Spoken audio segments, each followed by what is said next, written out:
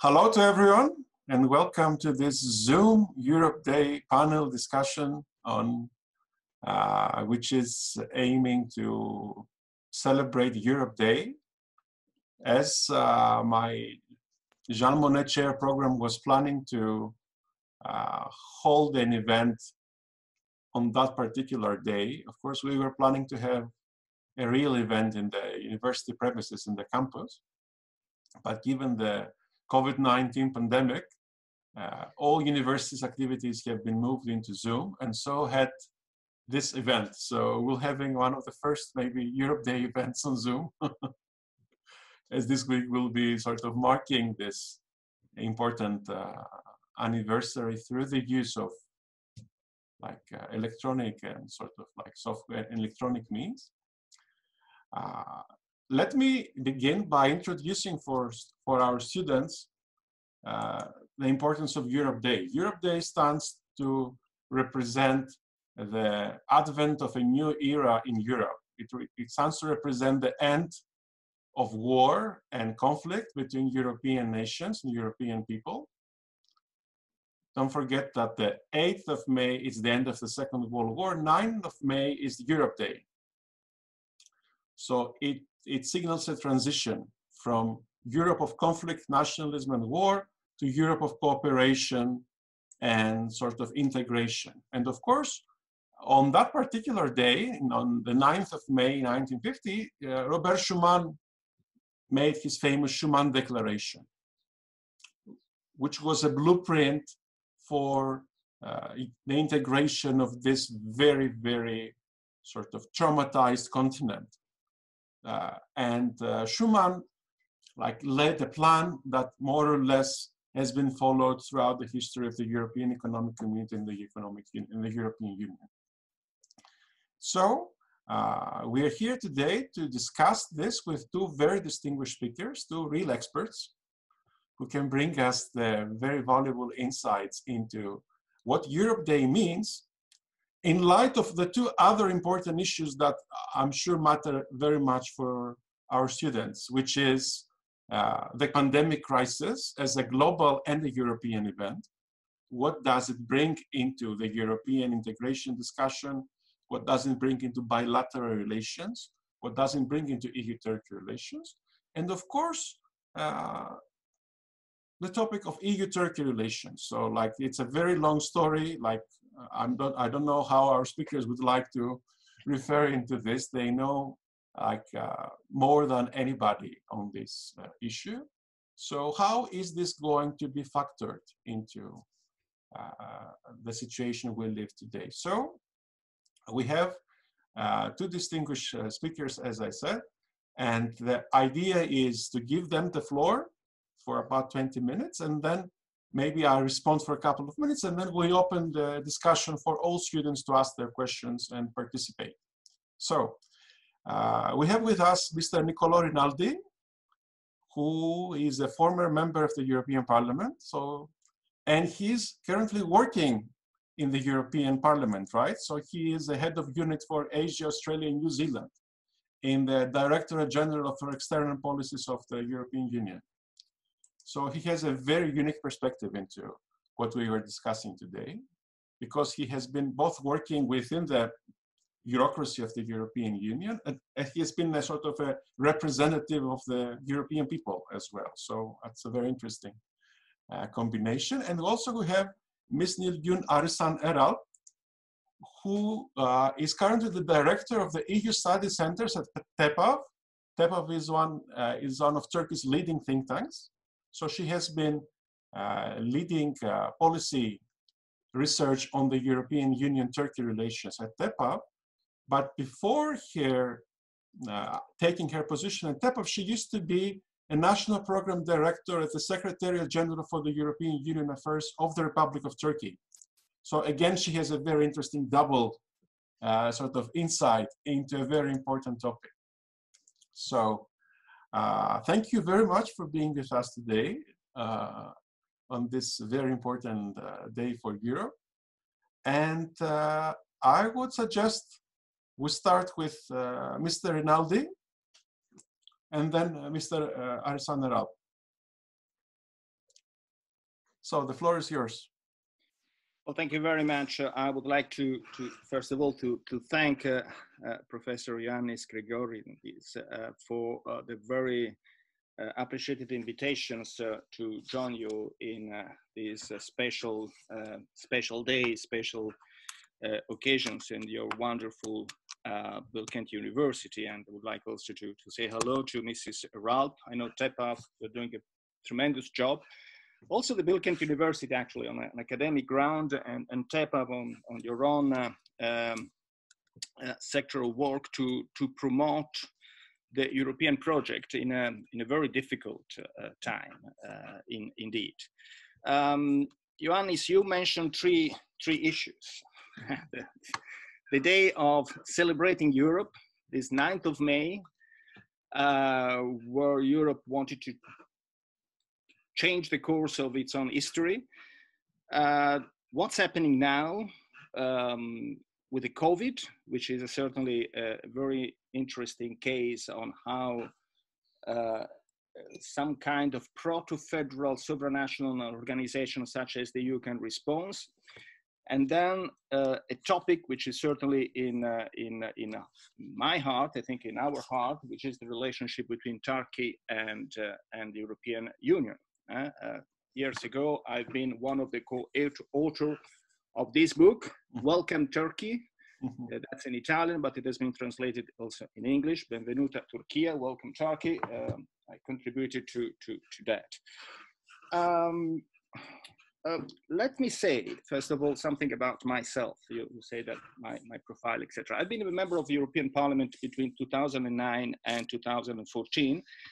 Uh, and uh, during those five years have been also the vice president um, of the European uh, Liberal Democrats. I've been also candidate for the European elections in uh, 2014 and again last year in 2019. But my party back to Italy in both occasions didn't get enough votes to elect anybody. So we, we stayed below the required threshold. Uh, it's a, um, progressive, liberal, uh, secular, and uh, pro-European party. To me, sounds ideal, but certainly this is not very popular in in the current political and social mood in back in in my country. Um, having saying that, we're still very active and uh, we still promote our, our ideas and our values. Uh, nevertheless, in um, uh, early 90s, in 1991, so none of your students uh, was born at that time, I became uh, um, an official of the European institutions before I've been uh, uh, for a couple of years in the United Nations. Uh, and since then, I have been involved in different capacities in external relationships of the, of the European Parliament, shortly in the European Commission, shortly in the European external action services. Um, and currently, as you said, I'm in, in, charge of a regional department, very big because we cover all countries going from Iran to uh, New Zealand, not the Middle East, uh, but we are in charge of the relationship between the European Parliament and, uh, I mean, Asia and uh, Oceania. Uh, that includes, of course, major powers such as India, Japan, China, of course, uh, and extremely politically interesting countries such as Afghanistan or Iran and, and so on. So I have, so to say, um, a point of observation, which I, I think it's, uh, it's certainly interesting. But uh, let's come back when I, uh, talking about the 9th of May, when I, I joined the European um, Union, at that time it was the European Community in 1991. I, um, when I was student, I was engaged in um, promoting uh, European federalism. Uh, it was some kind of political activities that was relatively popular at that time among the students. And um, 1991 was a time where the Cold War was basically going to end uh, the Berlin Wall fall.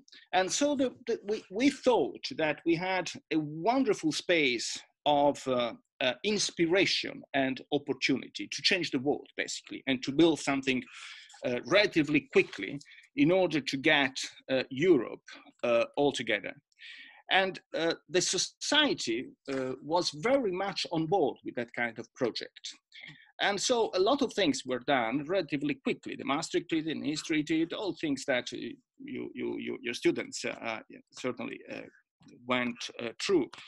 Schengen, the Euro, uh, the European constitutions, uh, the European Convention first, uh, the Lisbon Treaty, and a number of other things like that. Certainly, there were always constraints. Nothing was easy. the European constitutions, as we know, failed.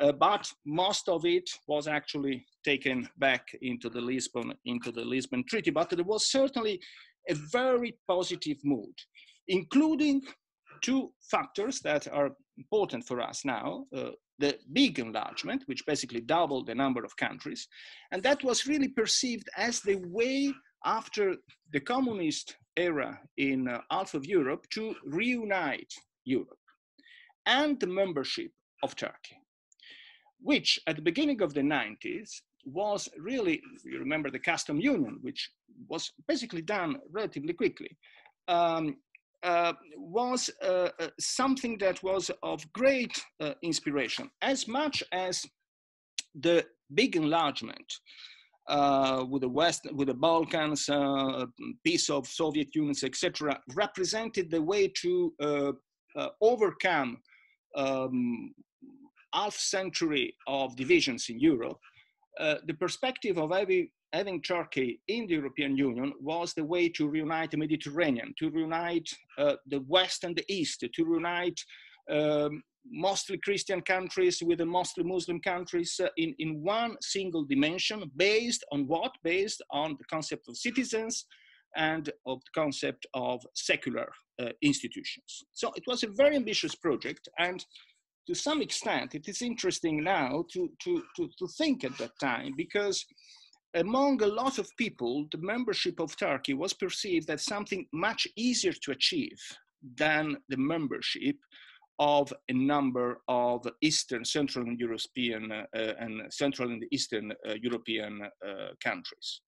Because, um, well, Turkey was not coming from a communist uh, era, so it was already there. It was already with a market economy. It was already very much in the business uh, with a lot of exchange, uh, etc.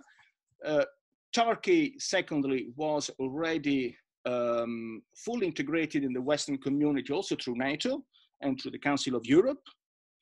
And uh, finally, uh, Turkey was a Mediterranean country, and uh, we all know that there is a Mediterranean dimension, which is anyway behind the institutions there.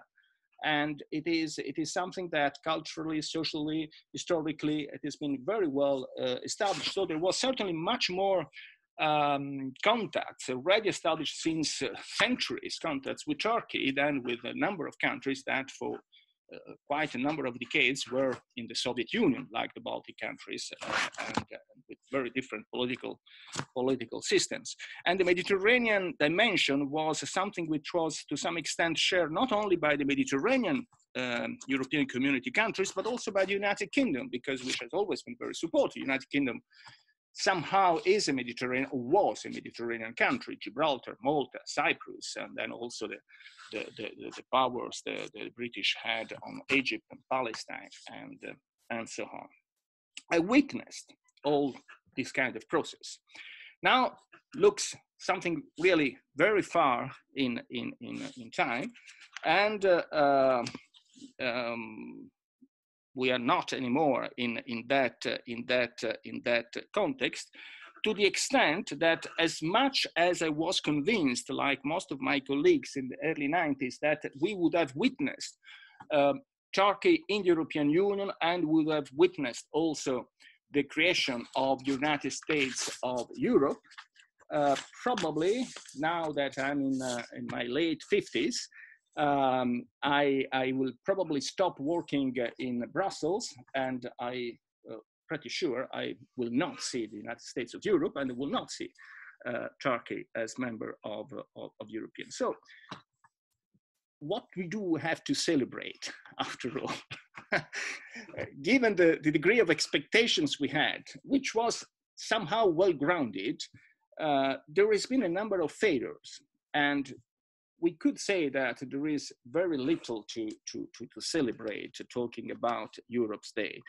But of course, that depends on the kind of time perspective that we, we, we, we, we take. Uh, uh, now, I guess uh, most of you students, uh, or some of you certainly, is is is uh, is uh, um, aware of the of the poem by Uh, Anglo Anglo American poet Eliot, no, the, from from the quartets, eh, eh, eh, which is, is the uh, time present and time uh, uh, uh, past are both present in uh, in in time future, and time future is contained in time past. So. Uh, the, the time dimension is very much an issue uh, when we have to celebrate something and when we have to think where we are, where we go, where what, what we did achieve. Uh, in a way, it is a very easy exercise to compare what we have now in Europe, um, and that includes not only the European Union, also Turkey, and what we had before. Uh, any, any, every month when we, we, we go from Brussels to Strasbourg, where we have the other um, uh, quarters of the European Parliament, we, we go not very far from the battlefields of Verdun. Well, Verdun was, was a place that were in a, in a bit more than one year, 750,000 Europeans people died. I don't know if there were Turkish uh, troops in Verdun, but certainly there were not just Germans and French, there were British, there were Polish, there were Belgian, there were Italians. And they, they died in the most awful way in the trenches of the First World uh, War, uh, which was a war that my grandfather did. So we're not talking about the Middle Ages. It's, it's, after all, it's, it's yesterday. Then we did have the 30s with emergency, the, the, the coming up of dictatorship, strong nationalism, etc. It was interesting to read some statements by Ataturk in, in the 30s, um, how progressive they were compared to Italian fascists and, and other dictatorship uh, around how much more when, when we talk about the kind of friendship he wanted to establish with the, with the people of America, he had established with the people of America, the kind of friendship he had established with the people of Europe.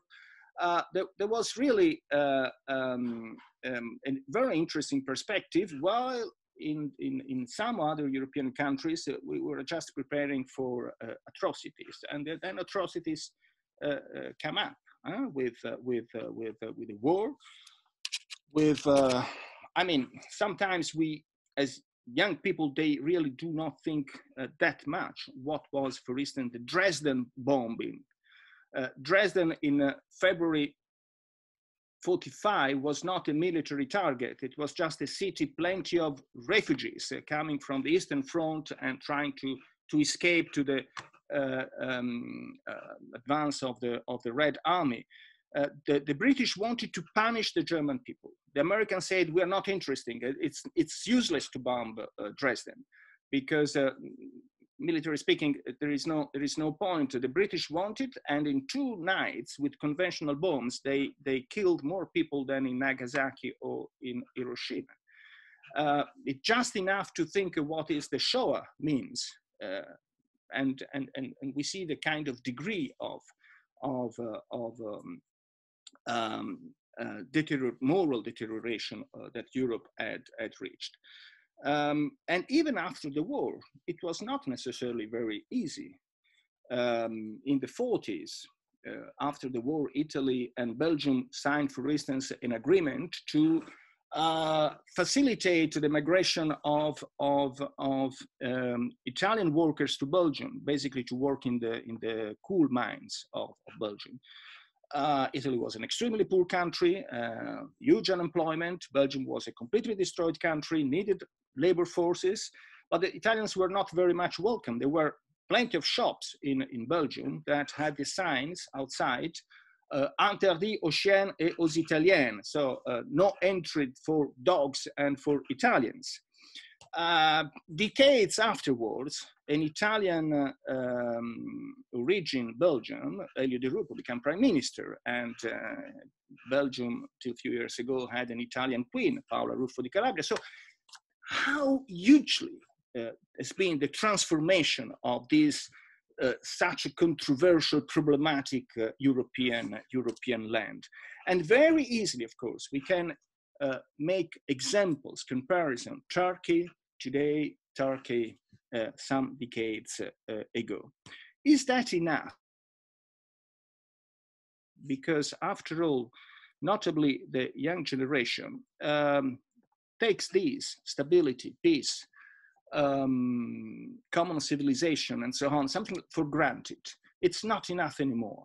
Uh, that's the past. Very important. You achieved, fine, but then what's next? And what's next is is very is still very problematic. And the narrative on how important has been to to to to end the 2,000, 3,000 years of European civil war uh, it is uh, it is it is something that has to be stressed in my opinion and that's why i'm talking about it but certainly is not is not enough when we, we we try to celebrate something that has to contain the past dimension but also has to to give a, a future uh, future perspective. Nevertheless what we can celebrate is that the european project is still there with institutions with a platform procedures, uh, forms of, of cooperation that to some extent uh, have not anymore the kind of uh, progressive inspiration that they had uh, in, in, in the past, but they're still there. And uh, to the people, uh, notably the young people of Europe, European Union and, and Turkey as well, of course, uh, who criticize the, the failure of European project uh, nowadays, I always say that there is a huge difference between uh, having some kind of institution, maybe weak, maybe not really inspiring, not motivating, but they're there, and having nothing. There is a huge difference, and we have to appreciate and we have to work with what we do uh, have now. Certainly, we are in a very slow uh, process, and certainly Europe or the European project is not perceived anymore as a sort of winning project, uh, the project of the future, but is still is still uh, is still there. We certainly have been very much affected, and uh, and this is an issue also when we talk about the COVID by the 2008 2009 and following years financial crisis uh, the euro was established. Um, we always thought uh, that the euro the creation of a common currency was the way to pave the road for having political institutions very very quickly. Didn't work like that. The crisis arrived in a way that uh, discrepancy and uh, and uh, feeling for injustice, uh, fiscal dumping, and things like that was very much felt by by by the public opinion, by the society. And uh, the whole process, uh, in, a, in a way, slowed down, and somehow it did, uh, it did, uh, it did stop. Uh, in the meanwhile of things, of course, things have been changing uh, in, the, in the rest of the world. And Europe maybe did not really realize that. It's been changing in China, it's been changing very much in the United States of America since the, the, the, last elections and the new, in the new administration. So a number of things that more or less we thought were a bit settled, that they, they were not. And changed a lot also in, uh, in, uh, in Turkey, which went through a very important political and somehow also transfer, uh, economic transformation. I can say that Turkey is certainly very much frustrated by the lack of European commitment to um, engaging with Turkey on a solid basis. And uh, on, on that, I never believed that uh, half solution are a solution. I never believe that spatial uh, partnership, uh, uh, privileged neighbor status, uh, they can really work. Um, or something like everything but membership. No, uh, in a transitional way they can work. But I, I, uh, my, my, my opinion is that either we have membership, full membership, and you are there, you are in the system, or there is very little point to to to, to work on, on on that kind of common of common, common goal. Um, then once you are there, there is a huge room for flexibility, for I mean uh, uh, different speeds as we we have a Euro area, Schengen area. Not everybody is applying a social uh, policy and and so on. But but certainly the goal of membership now as also it is perceived in European Union, it is something very remote. And at the same time, I think Turkey is, is feeling like many European citizens that the European project, as I, I said, is not a winning, is not attractive uh, anymore. Uh, this, this, doesn't work. Those people in Brussels, they, they, they, it's, it's not there anymore. Uh, there, there is not really. Um, and uh, uh, I would say that um, um, Turkey should not take these in a personal way, so to say. Uh, Europe is not able today to give proper answer, not only to Turkey, but even to very small countries uh, where there is not a demographic issue.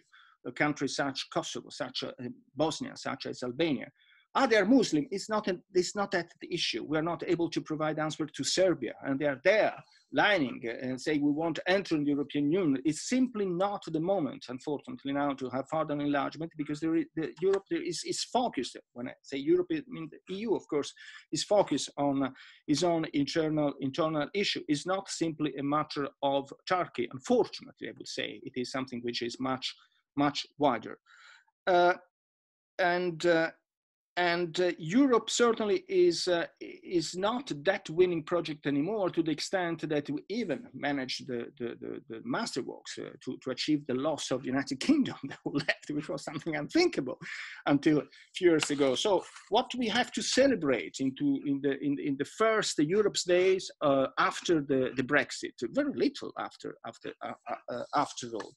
Nevertheless, we are still there we are living on the same land and covid now becomes an interesting an interesting case because uh, covid poses exactly more or less exactly the same problems everywhere it is a very uh, similar challenge uh, in America, in, in, Europe, in Asia, how we organize the economy, uh, how, etc., etc. So, uh, same problems and huge impact uh, not only uh, on, uh, on every single uh, European uh, or Mediterranean countries, but on also the very identity of the European Union, which is mobility, which is a common market, which is a circulation of people, of goods, which is competition and fair competition. And when you close the borders, when you, you, you try to, to, to, to, stop a number of goods going across your frontiers, you, you, when you open or you close some industrial uh, sectors, uh, you, you enter also in a, in a, very crucial area, which is uh, uh the competition uh, issue and fair competition in the, in the European Union. Uh, how did we respond as Europe? How we are responding? It's it's a very complicated issue, and um, and and again, it's a very mixed picture let's say like that. First of all, um, um, we do have, that's interesting, um, um, the so-called, I mean, it's so-called, it's called like that officially, the European Mechanism for Civil Protection, which is established, has been established in the Lisbon Treaty. It has been used something like 300 times uh, everywhere in different places in the world. I witnessed myself, for instance, the magnificent work that the, the European civil protection state in uh, Haiti. And the European citizens can be very proud of uh, this uh, uh mechanism uh, for what has been uh, operational European solidarity across the world. Actually, it was not really applied to the COVID. So the European citizens can be proud of what we did outside, but the European citizens see very little in terms of delivering for, for, for themselves. It has been activated, this mechanism as a procedure, it has been activated in few occasions uh, in, uh, in response to, to the COVID, uh, but late and on a very limited, uh, limited way. Why it has been so? why we have a procedure, we have an institutional mechanism that would have changed it completely because it would have basically one single coordination on, on the response. And actually, it has been a, a, such a fragmented uh, response. uh, basically because the member states didn't go for this, uh, this mechanism. Although we did use uh, elsewhere in the world, and sometimes we use also uh, for uh, limited issues, more limited issues in, in, in, in Europe. And there is, was not even and that was more worrying, a, a, a, demand by the public opinion, by the citizens to activate this process. Some was not aware, and some believed that, well, in this moment, we have to care about ourselves. That was, for instance, the, the kind of Italian reactions. We believe that our very good and actually it's much better for of whatever European civil protections can can do. I think that was, I mean, a pretty pretty common approach in in the rest uh, of of the European uh, Union. Then we had also uh, to try to coordinate the kind of health decisions, public health decisions, uh, um, and all the business uh, related decisions, so what to open, what to close, uh, uh, the rules of the game, engagements of, um, and, and, and so on. And here we do have very little legal basis, unfortunately, for having uh, uh, a real uh, political actions. and it is interesting to see that there are already a number of petitions signed by citizens asking the European Union to take up this kind of competence for future cases. But we see the failure of uh, a system that is not really fit to try to uh, get a common, organically, structurally uh, joint approach on, on issues which are basically uh, common, uh, common challenges. Uh, third point, we need to put in the economy and in the state budgets money, financial resources because uh, the cost of the crisis is, uh, is huge. And for some countries, uh, Italy is certainly one uh, um, very important example, your neighbor uh, Greece another one, etc., is uh, um, with very, I would say, huge public debt we need to find this money on the market. It's very difficult, so we need kind of European solidarity. I would say that when we talk about money, Europe is, is certainly is giving a, is much more interesting response. Because as a matter of fact, dogma such as the untouchability of the Stability Pact have been uh, challenged and it has been suspended, the Stability Pact. And we are talking about a package of different measures uh, between 1,000 and 2,000 billions euro that will be put in different European instruments in uh, disposals of uh, European states in order to regenerate the, uh, uh, regenerate the, the, economy. it is a very complicated negotiation. It's not one day decision. there will be certainly room for disappointment, but and here again, we go back to what we can actually celebrate. Uh, the fact that we do have institutions, we have a budget, we have procedures, we have uh, uh, people that who have government regularly meet, not on a voluntary basis, but because we are part of a family and uh, God knows if there are not a lot of disputes within the, the families we are actually delivering, uh, we, I mean, the European Union is actually delivering a financial response that it is uh, with no comparison with whatever is happening uh, elsewhere. Who else could give money to Greece? So who else could give money to Italy? Uh, the Chinese, the Russians, the Americans, huh? the FMI, uh, with all the contradictions and all the problems, it's basically Europe that is coming in, in the picture and maybe with a lot of um, mm, um, disappointment and happiness by the Dutch, of the Germans, of the Finnish, and here and there, but still, we're talking about a huge amount of money between 1,000, 2,000 billions of euro in different uh, formats.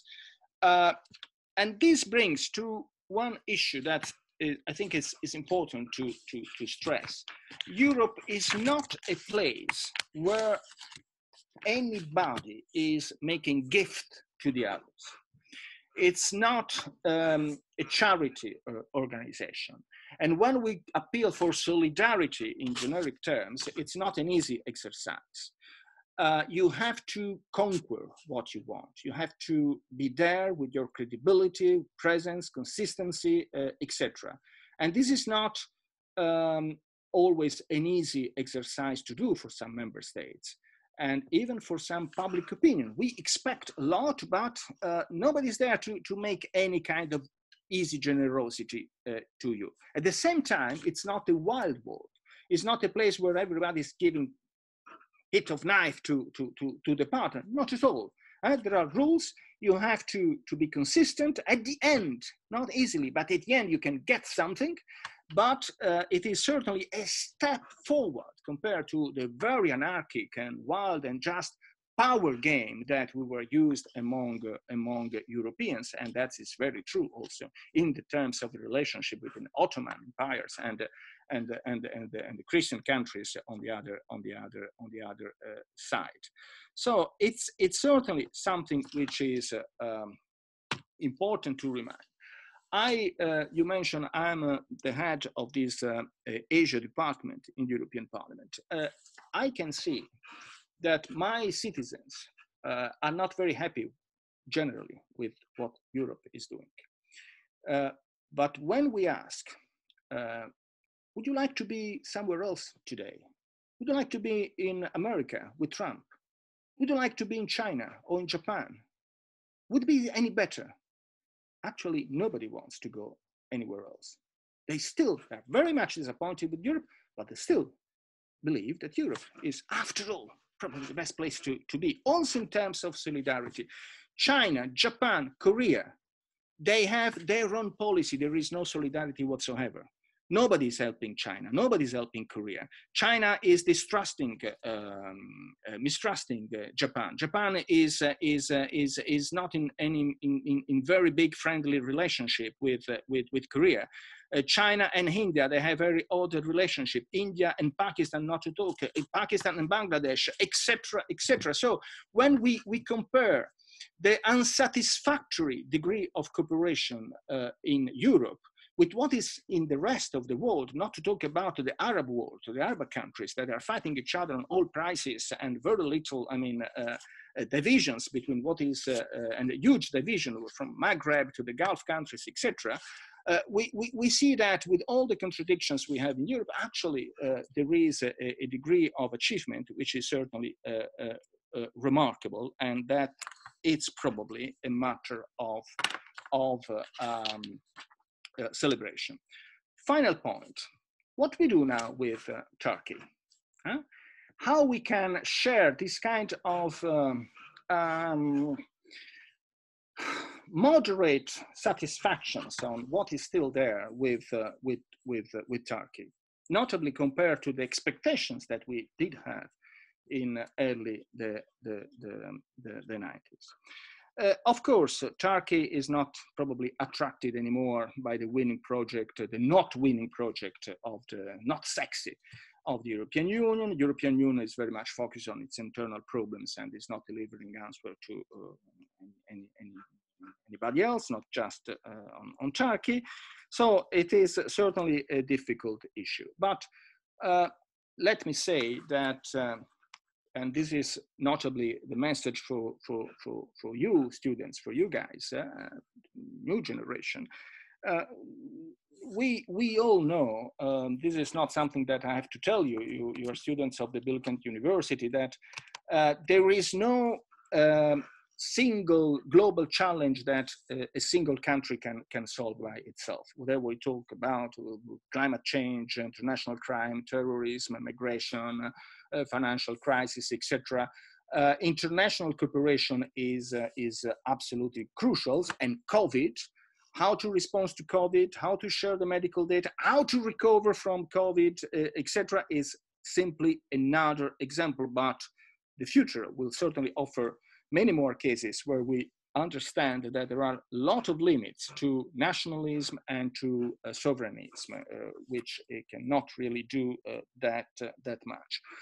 Um, Europe lost United Kingdom, um, but I don't think it's going to lose any other uh, member. Um, in the 90, uh, 2008, 2009, 2010, where we are very much under stress with the financial crisis, there were a lot of talks how the euro is going to collapse. The euro area is, uh, is it's not going to. And now we, we, we listen a bit to some kind of music. Uh, started to play uh, to play uh, again. Actually, it didn't materialize. Uh, euro is still there. Again, under stress, given the, the, the euro area, uh, uh, given the, the, current circumstances, but is, is, is, is still there. And there is, when we look to the comparison with the rest of the world, a clear perception, uh, I would say not yet a clear understanding, but it, the fact is there that Europe per se, it's very little. What is, after all, uh, and this is exactly the same for Turkey, what is, after all, the, the, the advantage of, uh, um, of um, a country such as China? vis-a-vis Europe. A lot of people say, well, they, they, they have dumping, social dumping, the very low salary, very low uh, cost of labor. Yes, that's by, by, by large extent, that's certainly true. But I, I think that the, the, the real advantage uh, of a country such as China is that we are talking about uh, 1 billion 400,000 people, and they do have one minister of foreign affairs, one minister of economy, one currency, one labor policy, etc., etc we are in Europe with uh, uh, not anymore the UK, uh, 430 million, something like that.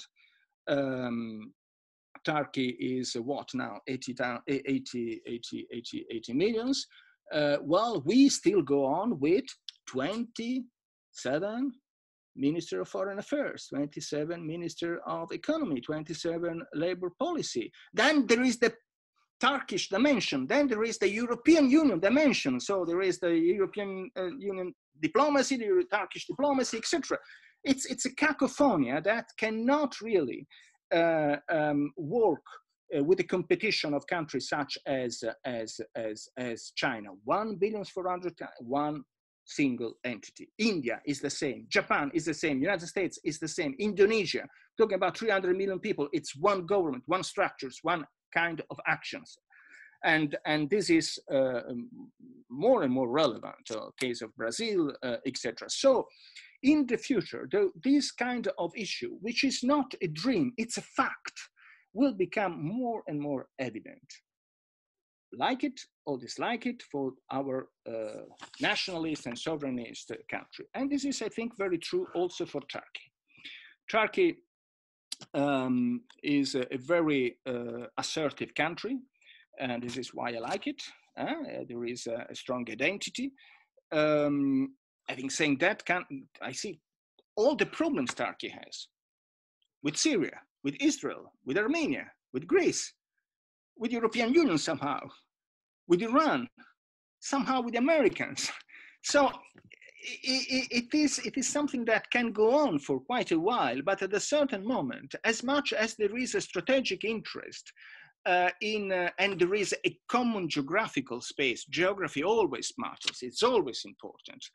Um, uh, it, is not a very um, sustainable situation uh, and role that Turkey is having, as much as the European Union is not a very sustainable uh, position on the on the long run. Just to be uh, this bunch of countries uh, by themselves with basically half of the Mediterranean only and, and, and things and, and, and, and, things like, like that. Um, in, um, we all know the, um, um the, the, the, the um, sorry, yeah, the, um, um, the novel by uh, George Orwell, 1984. Um, 1984, The Big Brother, no? It's, it's, it's um, a view in, in, in, the future that Orwell had. But what is interesting also is that uh, Orwell uh, set the plot of 1984 in a world that was divided in three superpowers. Uh, Oceania, which was America, the the two Americas, United Kingdom, Great Britain, that he, he did put already as part of uh, the American space, uh, South Africa and Australia. That was Oceania. Then there was East Asia, which is basically Japan, uh, South Asia, Southeast Asia, and, uh, and, and China. And then there was Eurasia altogether.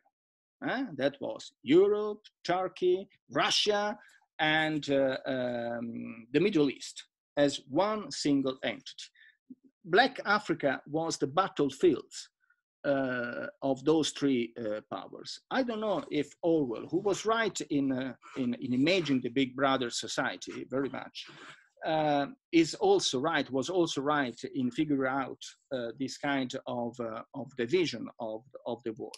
But certainly there is an interesting, an interesting suggestion in, in, in that novel in terms of strategy. Well, um, um, I would make it, uh, I would stop here. Um, let, let's just, uh, uh, let's just me, uh, make me finish with a, with a quote by a, a British uh, poet um, that he said that a pier, because this is very, very, I think, pertinent for a Mediterranean country such as, as, uh, as Turkey. A pier is a frustrated bridge what beautiful expression, I would say. A pier is a frustrated bridge. We need actually to make our piers to become bridges, our ideas, our failed attempts, so far failed indeed, to become projects and, and facts. And this is probably the role of uh, uh, the new generation. Thank you. Thank you very much for this uh, very interesting and inspiring presentation.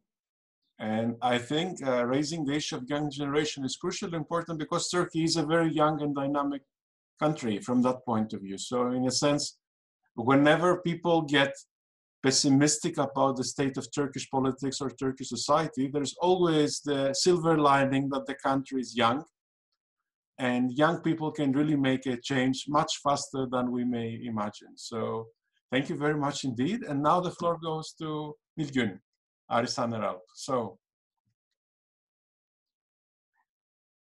Yeah, okay. Yes, now we can uh, Thank you. Yanis, uh, thanks for inviting me to this Zoom lecture and thanks a lot, Mr. Rinaldi, for your extensive uh, very enlightening uh, presentation or speech, whatever I call it. Uh, fortunately or unfortunately, I don't belong to this young generation in Turkey. Uh, like Mr. Rinaldi, I'm in my late 50s. I'm even one year older than him. Uh, uh, and my experience with EU Turkey EU relation goes back for 33 years uh, EU Day, European Day has always been very important to me. First of all, I uh, built all my career into Turkey-EU relations.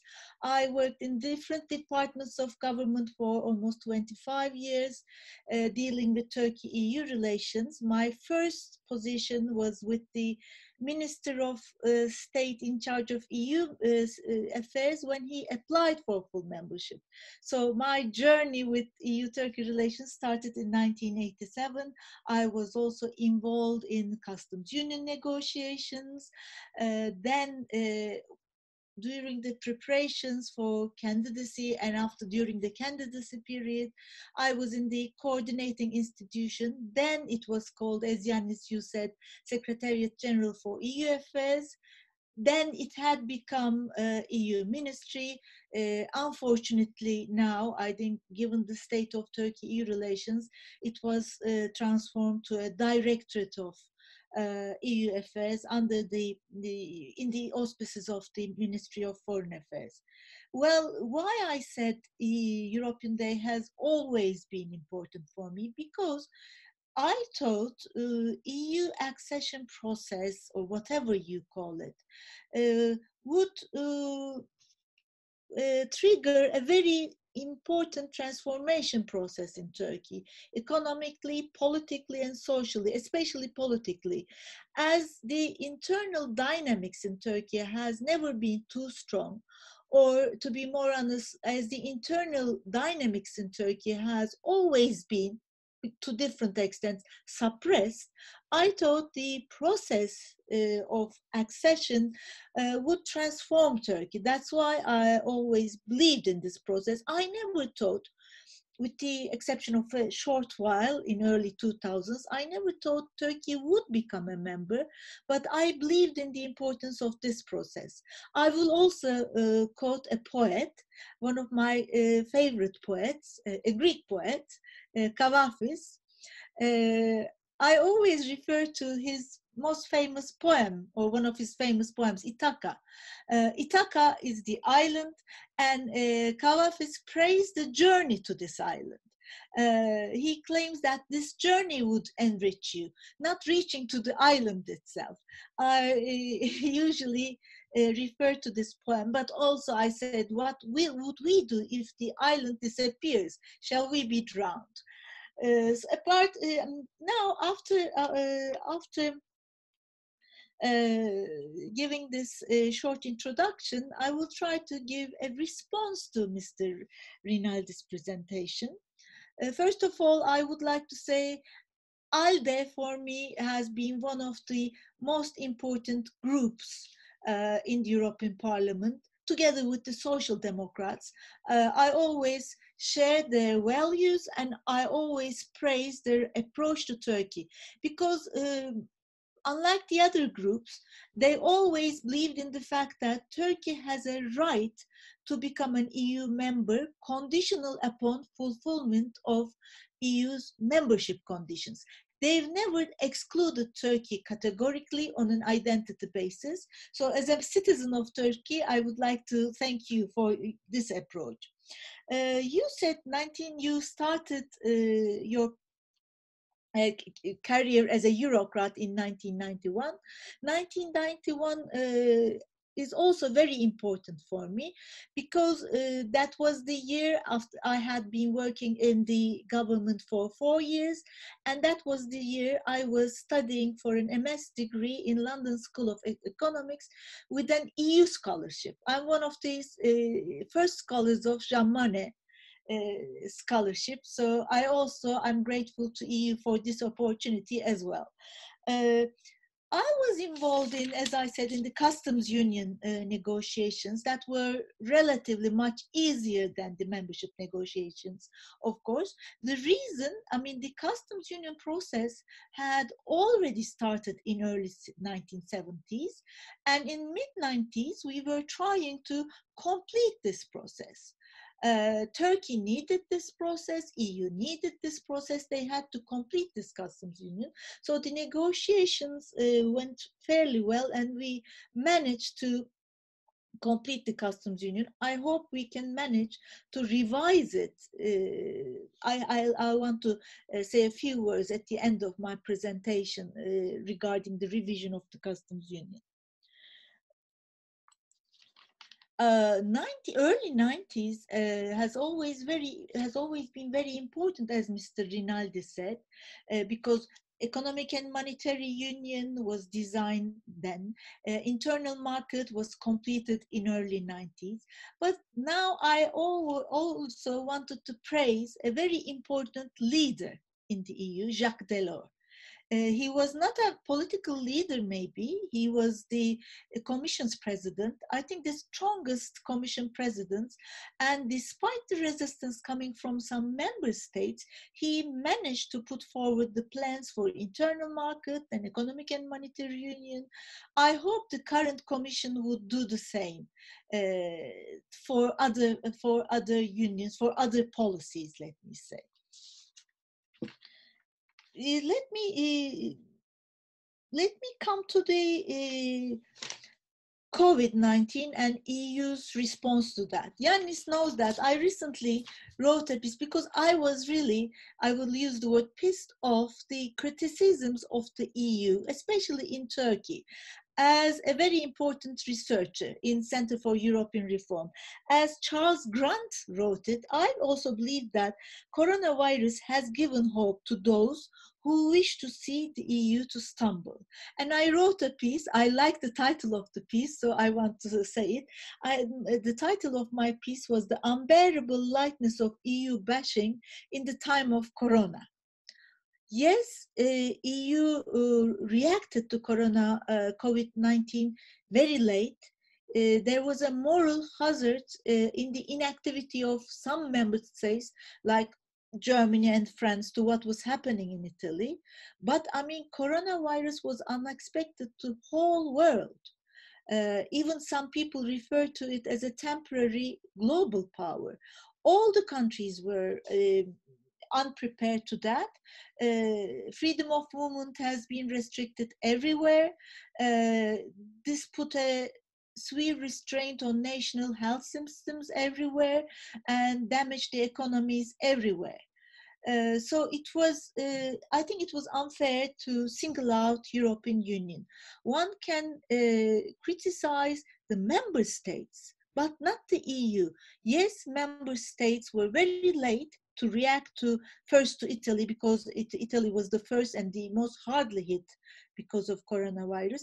But I mean, EU uh, institutions not. As Mr. Rinaldi also said, when Italy was first hit, uh, the Commission wanted to activate and actually activated the EU civil protection mechanism. But because of the inactivity of member states like Germany and uh, France who, restricted their exports of medical equipment and medicaments to Italy uh, and closed their borders. Because of these uh, actions of the member states, the uh, EU uh, civil protection mechanism activated by the European Commission has become void. Uh, I always praise European Parliament's pressures to the member states to be active to help the other to strongly hit member states like Italy, Spain, and then France. Uh, so European Parliament was very active in inviting member states to react. And lastly, I would like to refer to the actions of the European Central Bank. European Central Bank uh, has prepared an enormous bond buying activity that would amount to, if I'm not wrong, 750 billion euros. That reminded me uh, the response of uh, European Central Bank under the presidency of Mario Draghi. Uh, in 2012, despite the resistance of some EU member states again, Mario Draghi said we would do our utmost to save euro within the limits of our competence. Now European Central Bank under the presidency of Christine Lagarde is doing the same. She was questioned by the highest court of uh, Germany recently and she said uh, European Central Bank is undeterred by German court's challenge, and they are answerable only to European Parliament, driven by their own mandate. So what I'm trying to say, we have to differentiate between the response of the EU member states and the EU institutions to COVID-19 before starting the bash out, uh, before starting EU bashing. And although EU was late to respond to that in general. Uh, there are significant improvements. Let me name a few. Ah, first of all, that, as Mr. Rinaldi said, uh, there are excuses of the EU. First of all, EU institutions, they don't have the competence in health uh, policies. Health policies are left to the competence of national states. EU didn't have the um, experience to deal with an pandemic like uh, COVID-19. And lastly, although EU had mainly three mechanisms, I will name them uh, uh soon, uh, they were not very much used. These mechanisms that I refer to, first of all, is the EU's uh, pandemic early warning and response system.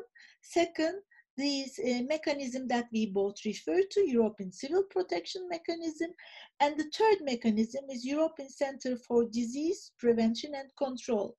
And very surprisingly, positively, last week, uh, Britain, who uh, has already officially exited the uh, EU, secretly try to be involved in the EU's pandemic early warning and response system.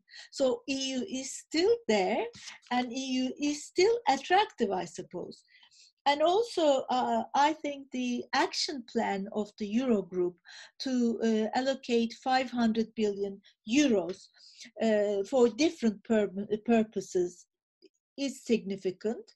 I already referred to European Central Bank's pandemic buying, pandemic bond buying. Uh, and uh, I think also it was important that at the end of April, if I'm not wrong, 23rd of April, the EU leaders in a video conference uh, agreed, agreed to put together a recovery fund all right, the amount is not certain yet, maybe 1 trillion euro, maybe 1. trillion euro, and the uh, its division between it, uh, grants and uh, credits is not known. I think the Commission is working on that, and soon they are going to submit their plan on it. But it is important uh, that uh, EU leaders uh, has agreed on the importance of such a recovery fund. Uh, although they they made their negotiations through a video conference, I don't think uh, negotiating via video conference is as easier as a face-to-face conference. But I think this is important. Yes, they couldn't uh, agree on corona bonds. They couldn't agree on mutualization of debt because they think that without mutualization of responses, mutualization of bonds will too much will put too much straight strain, I'm uh, sorry, for relatively uh, well-to-do countries. Uh, also, yes, uh, this one, this makes one question the solidarity principle, uh, the Europe, the also question the European identity, but it is difficult, I think, everywhere. Uh, like even in a federal like a federal state like United States, it is it is difficult also i think for uh, corona bonds for mutualization of debt uh, eu needs a financial union as and as financial union is associated with political union that's very difficult to achieve nowadays. As mr rinaldi pointed out political union unfortunately nowadays has become a dream. We don't know what will happen in medium term or long term but for the moment it is uh, it is like that. What I'm afraid of uh, about EU nowadays, uh, there is we all know that commission has given back uh, the competence in state aids uh, to member states. Also the stability stability pacts financial rules were relaxed and uh, Schengen is not there anymore. Countries, I mean, EU member states are controlling their own borders. Uh, what I wonder whether this comp these competences will be easily given back to Commission. This might cause a problem. Uh, and also I, I question what is important in the EU's agenda nowadays. I mean, if COVID-19 were, wouldn't be there, is the digital and ecological transformation. Uh, I wonder whether ecological transformation would be easy after COVID-19, as COVID-19 increased the employment problems in many member countries. So, uh, in like industries like cement, plastic, and automotive industries will not be able to manage ecological transformation as easy uh, as possible because of the employment problems. Uh, now I will come back. Uh, we are running out of time, so I will. Uh, I would like to end up with uh, Turkey-EU relations. I'm a bit pessimist in that sense. I don't think a real improvement in Turkey-EU relations can be realized uh, if Turkey still refrains from going back to the reform process it once uh, managed to accomplish, I'm referring to the times in early 2000s. EU has uh, made mistakes in this process. Mr. Rinaldi uh, made it clear. The EU accepted uh, Cyprus without a settlement, so removed all the motivation from Greek Cypriots for a settlement in the island. Uh, some powerful European politicians excluded Turkey on an uh, identity basis. Hence, uh, they told the uh, citizens of Turkey that we are others. We recently conducted an opinion poll in Turkey. There is still 60% support for EU membership, for EU accession, but only 23% of the population think that we can one day become a member no matter what we do. And third uh, mistake of EU uh, was permitting the unilateral blockage of some negotiation chapters without being based on any EU decision, even if they contradict with EU decision. Uh, finally, the final mistake of the EU was turning a blind eye to what was going in Turkey. Uh, I'm talking about democratic backsliding, backsliding because of real political issues like refugee deals. So EU has made many mistakes, but of course the main mistake lies in Turkey uh, because of because of uh, democratic backsliding. So I don't envisage a real improvement in uh, Turkey-EU relations.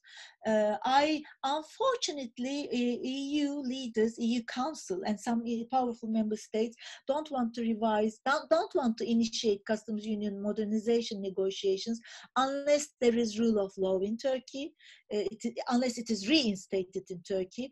Although maybe pathetically, uh, we uh, expect that if negotiations for modernization of customs union can start, they, it, they can reinstate rule of law, at least in the economic sphere.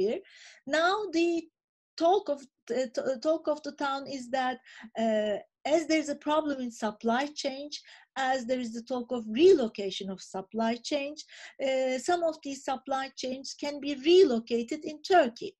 So this can re, uh, reinstate a new relationship, a transactional relationship between EU and Turkey.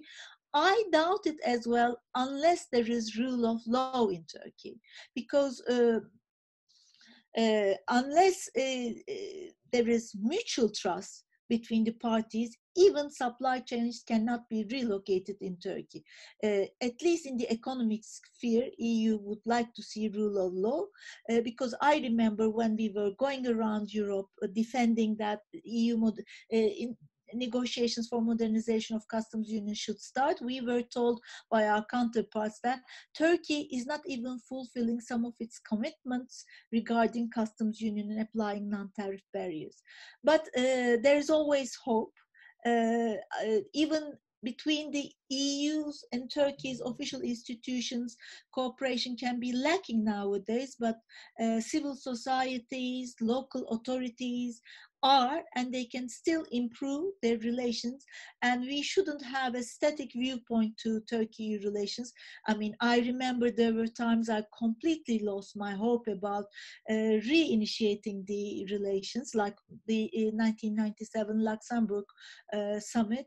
They can always there's always light of hope. I would like to end here and try to answer the questions or hear the comments of the students. Thank you for listening to me. Thank you thank you very much for a very enlightening presentation. And as you said, although the situation is not very optimistic on the sort of government to EU level, I think the uh, figures you, you shared with us about the strong public support for Turkey's EU membership is something very important. And uh, civil society cooperation and interaction uh, through different channels uh, supported by the UN beyond them is a very important way to keep the story going until political conditions are more suitable for yeah. to return to the sort of the state of uh, political and economic reforms that Turkey was uh, like 15 years ago. Ago, you're right. So uh, I will uh, let the floor now to you students. Like I will keep my questions for later. First, uh, I can read a question from Murat Uh, in terms of economic resources and medical support, how do you evaluate EU member states' actions, particularly towards Spain and Italy? I suspect that that's a question mainly for uh, Mr. Rinaldi. Do you have any other questions that are relevant so we can bundle them? Anybody else wants to ask a question?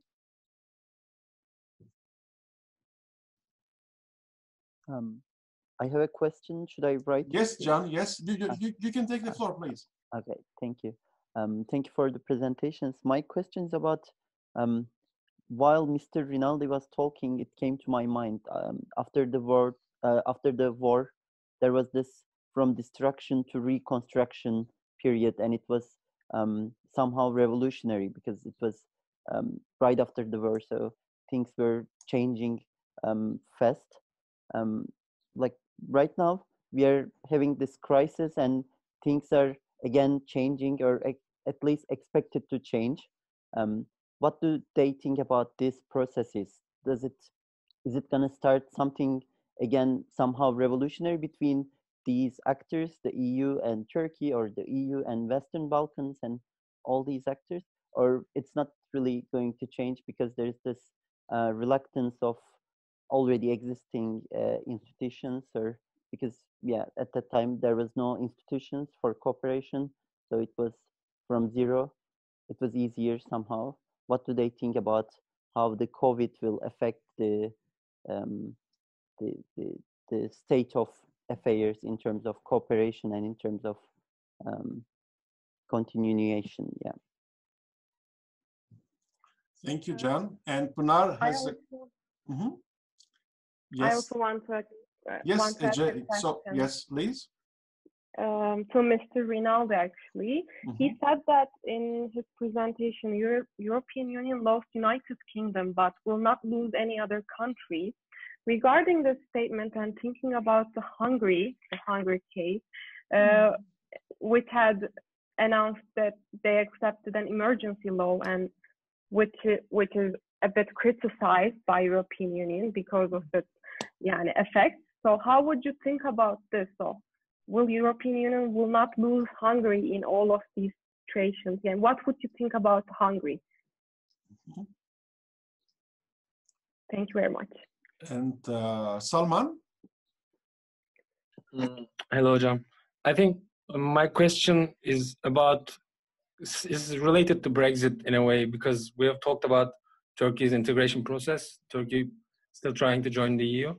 Uh, at the opposite side, we see that uh, one of the biggest countries, UK, leaving European Union, and there's speculation that uh, both in UK and in other European Union, European member state countries that this might uh, ignite the fuse of a of a new trend that European leaving European Union is actually beneficial to any country, might be beneficial to any country who are mm. actually member states now.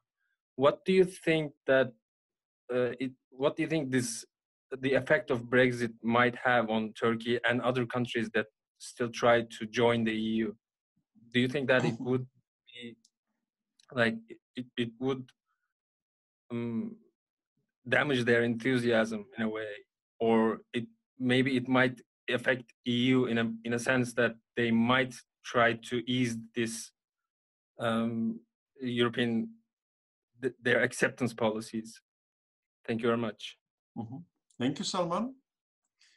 Let me read two questions that I received on the chat box. So Pınar is asking, how do you evaluate the solidarity among the member states during COVID-19? And Neve is asking, do you expect a surge of left-wing movements across the EU due to potential economic consequences of the COVID-19 crisis? So I suggest that let me add two questions of myself too, and then I will give you the time to answer sort of all the questions that belong to each of you in a sort of coordinated way, and then we can conclude the event. So I have a question for uh, Mr. Rinaldi first.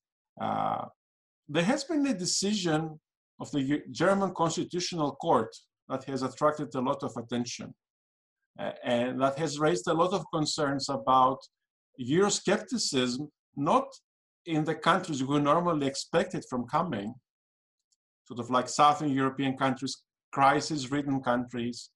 Many people were concerned about, for example, the effect of uh, the COVID crisis on Italian Euroscepticism. And because Italy already had some sort of strong populist uh, and anti-European movements, and there were many concerns about them taking even a stronger boost out of this. But now we have the German Constitutional Court adopting views that are barely pro-Europe, like this quite anti, very, very Eurosceptic. So how can the EU manage this sort of different sort of versions of uh, creeping Euroscepticism? And the question for uh, uh, Ms. Arısan Eralp, you talked about how the EU-Turkey relations should be value and norm-based and not transaction-based. and you pointed at towards the Turkey-EU migration deal as sort of an example of how things should not be going on, as if I understand well. Uh, nevertheless, the issue is very much on the agenda, and it is one of the issues that are sort of going to be burning because uh, Euroscepticism in many countries is linked to migration. So the two issues are sort of interconnected. So what do you think a proper EU response should be on this issue? So what would you advise?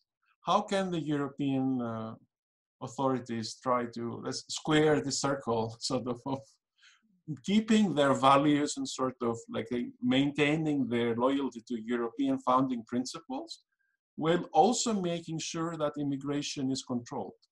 So, uh, you want to go first, Nilgün? Okay, let yes. me let me start uh, to uh, answer uh, with Pınar Akdeniz's uh, question mm-hmm. because that was uh, directed to everyone. Then I'll answer your question. How do you evaluate the solidarity among the member states during COVID nineteen? Uh, the solidarity is there. It, yes, uh, at the beginning, the solidarity was not there, especially towards Italy. but the, it was late, late coming, but it was there. Why I'm uh, saying this, as uh, I refer to, there's financial uh, assistance to these countries that is coming. And also france and germany fortunately turned back from their mistakes uh, through the rescue program initiated by the commission. Medical equipment and medicaments are being provided to italy uh, and spain hardly hit countries. And also the uh, seriously uh, serious patients, Italian and uh, Spanish patients, are being taken to the uh, hospitals of Germany and France when there is capacity to do that. So I think the solidarity uh, has become rather late, but now it is there. Uh, I question that from here, I will jump to the question of Yannis. I think the crisis where we observe a serious dent in solidarity was the refugee crisis. Uh, as EU couldn't uh, settle the uh, refugees among themselves, uh, as most of the burden were put on Germany and then Italy and Greece, uh, as they are the Greece and uh, Italy was first member states where refugees arrived to. Uh, the other countries, especially Central and Eastern countries, uh, didn't want to take refugees although as a solidarity, as a matter of solidarity, they should have taken, uh, they should have agreed on a quota system to take the refugees. They refused to do so. Uh, and that's why uh, they've become dependent on countries like Turkey. Some even refer to this refugee deal between Turkey and the EU as the dirty deal because of uh, uh, because of this deal, yeah, as I mentioned, EU has to a certain extent turned a blind eye on what was going on in Turkey. Uh, and I think as long as EU uh, cannot put together a sensible migration policy, an important uh, burden sharing part of it among uh, the member states, taking all the burden from Italy and Greece and, and Germany, uh, they will be dependent uh, on countries like Turkey. And I'm sorry to say that, but they will be dependent on the kind of blackmailing tactics on third countries. What EU has to do, in addition to put together a sensible migration policy, they have to invest in the source countries. That was the impression I get from Team Europe's 20 billion euros to be uh, to be transferred to uh, countries, source countries like in Africa and Middle East. And I think EU should be more active in preventing the instability uh, in the source countries. Like EU hasn't done anything in Syria, unfortunately. This was an answer to your question, Yannis. Thank you, thank you very much. And Mr. Rinaldi, the last word to you. Yeah, thank you. I, I, I'll first start with uh, uh, some questions uh, which have been made by uh, the, the, students. Uh, uh, Hungary, for instance. Hungary could be another could we have a, a Hungary exit or something like that? I don't think so, frankly. Um, Hungary is a completely different country than the United Kingdom. United Kingdom made its choice uh, also based of the very strong partnership with the United States of America, of the existence of the Commonwealth, of a kind of a mentality, uh, which is a sort of post-imperial mentality that is a self-sustainable country uh, uh as such, which probably is a very wrong approach. Uh, we will see how the United Kingdom will uh, will do outside the European Union. Already now, it has in a very, it is in a very difficult position between interest with China and has to follow uh, Trump's uh, approach on China uh, and, and, and so on. Hungary is a small country in the middle of Europe. I mean, what, what, what can, and it is not Switzerland. Uh, so what, what Hungary can really do uh, by itself, I think very, very, very little uh, after all. moreover, I would say that the situation in Hungary is very special because it's very much determined by one person who is extremely popular in the country, has a lot of consensus, has some kind of charisma, but it is not really something which is structural in the in the in the society and even less uh, mm-hmm. in uh, in the history or the tradition of a very Middle European uh, um, uh, country. So I, I, I don't think so, frankly. Uh, how Brexit could could uh, influence future membership? Certainly, the European Union um, um, has a damage in terms of enthusiasm, as has been said, and in PR terms, it's, a, it's an awful situation. Uh, we have a, prominent member who decided, well, it's not convenient. And uh, it is not just the government, it was really the citizens uh, that basically twice uh, even after three years of debates and some kind of threats, if you don't uh, stay in the European Union, there will be economic collapse of your country, will confirm the decision and decide to, to leave. Very bad for the European Union. Uh, indeed. Okay. Again, uh, peculiar debate uh, within the, the, British society in this time and, and, and so on. Uh, but um, um, in a way, the countries who wish to enter the European Union, which basically now are Ukraine and the Western Balkans, uh, are even more committed.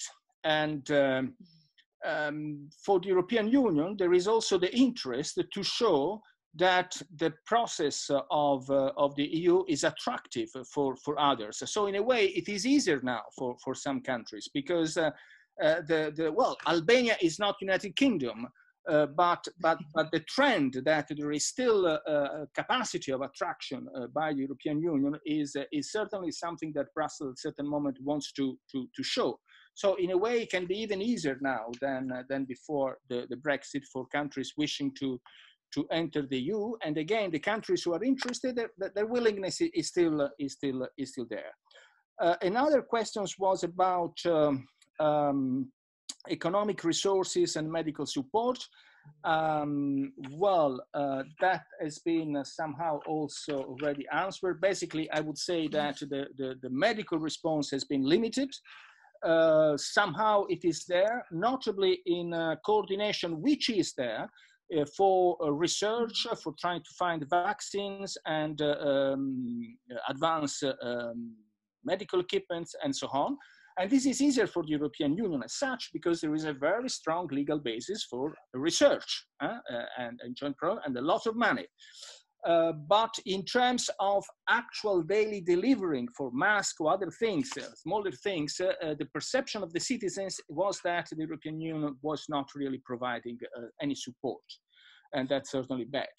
Uh, in terms of uh, uh, financial uh, resources, uh, as I said before, the, the kind of response that is, uh, is, is, is, being cooking now, it, it's, it's actually unprecedented and it is without comparison with whatever else that may happen in the rest of, of the planet. So money is, is there. That brings me to the, to the question which has been raised by Yannis, the German Constitutional Court.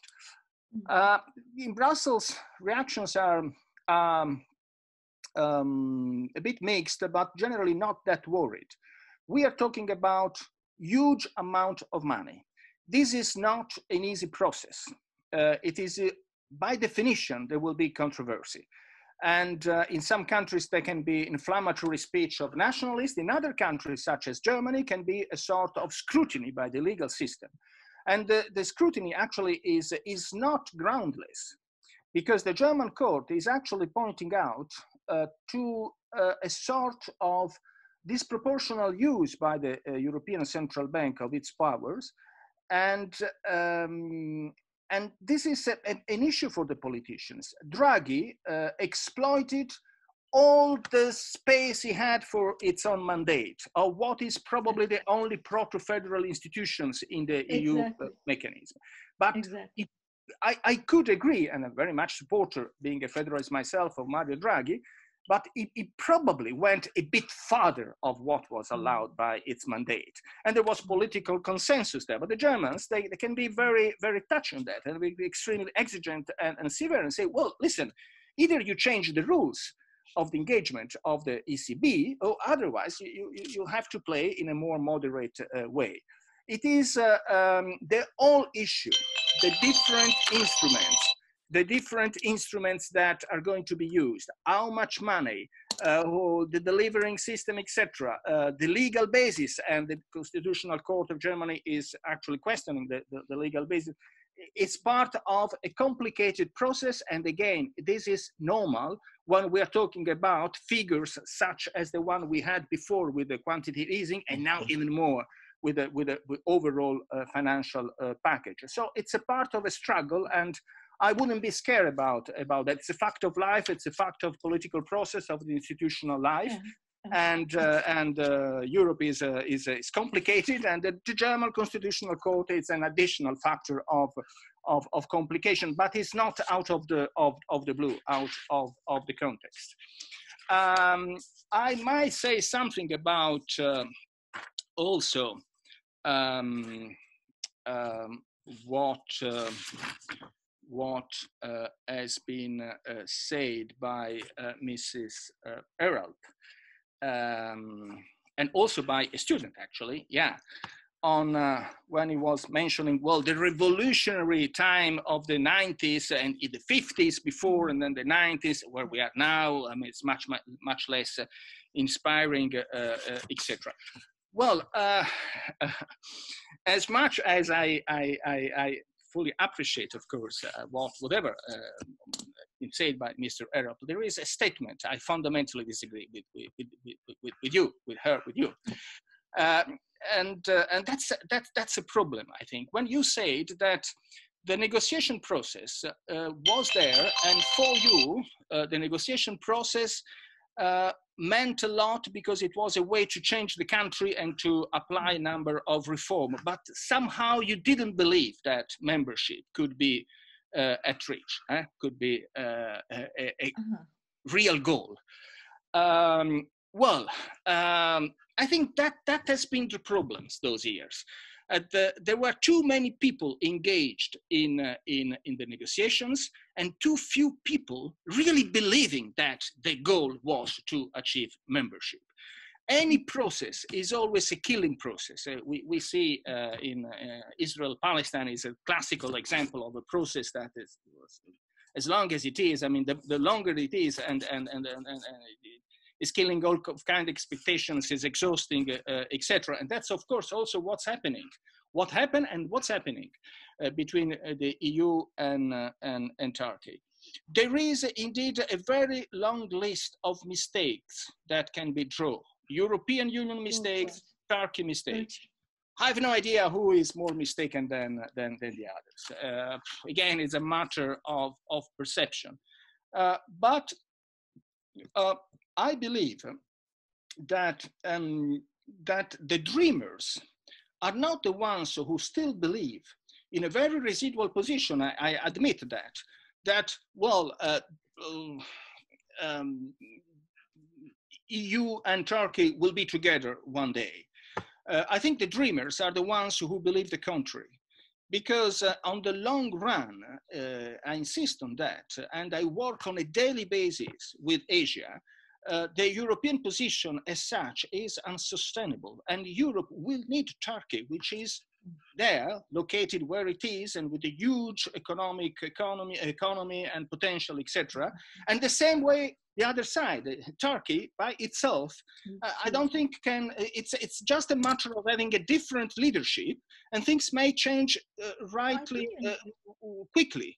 There is uh, an objective convergence of strategic interest it will take decades. It's not for tomorrow, but that doesn't mean that the process is over. Those things may take a long time. Maybe in, uh, in, uh, in, uh, in, uh, in 20 years, there will be much less demographic pressure from Turkey, which is an issue for some, uh, for, for, for some Europeans, and this problem will be solved.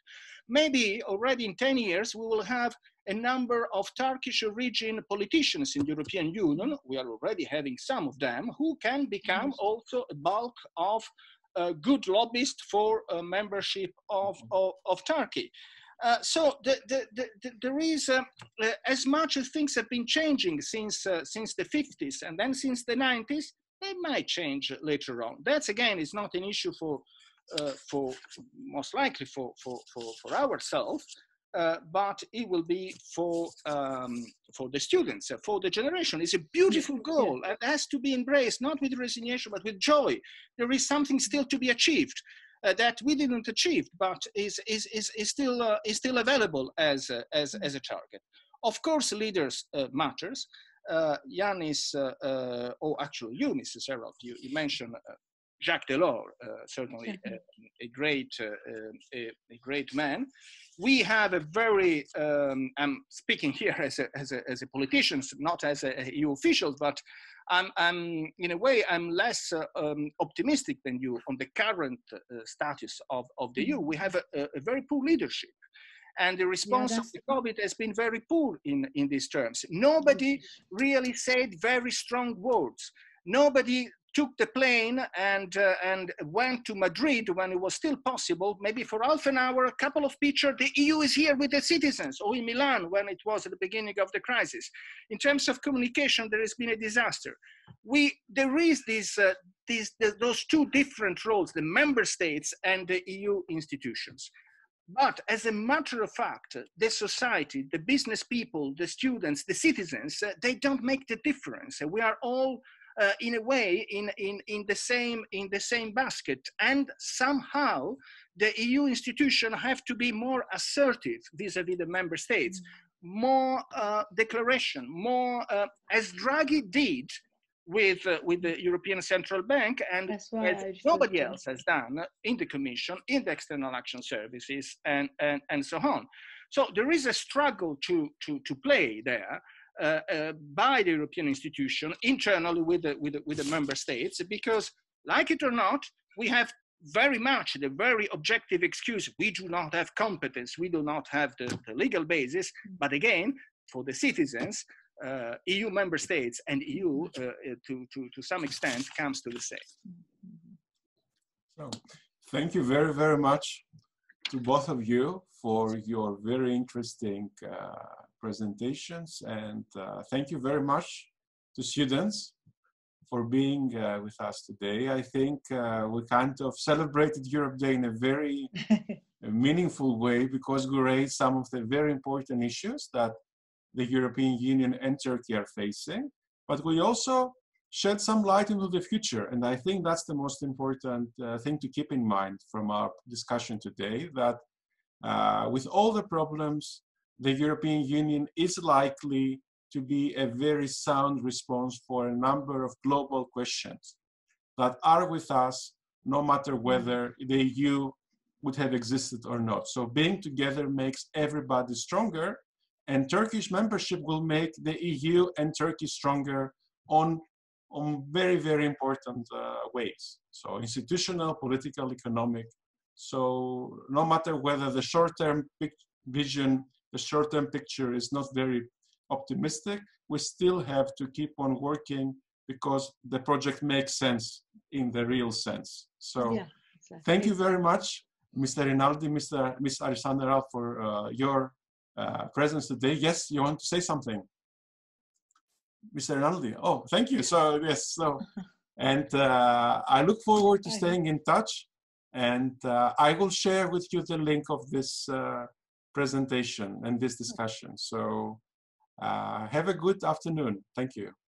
Uh, would I Thank just you. thank you and whoever you, that's also addressed to the students, uh, uh, by chance comes to Brussels, uh, get in touch with me. I will be very happy to, to, to meet you in, uh, in the European Parliament. This is wonderful. Thank you Oh, yeah, very much. Thank you, Yannis, for this very interesting. Thank you. Thank you for accepting the Thank you. invitation. Thank, Thank you, you. Mr. Rinaldi. Thank you, Yannis. Thank you very much. Bye-bye.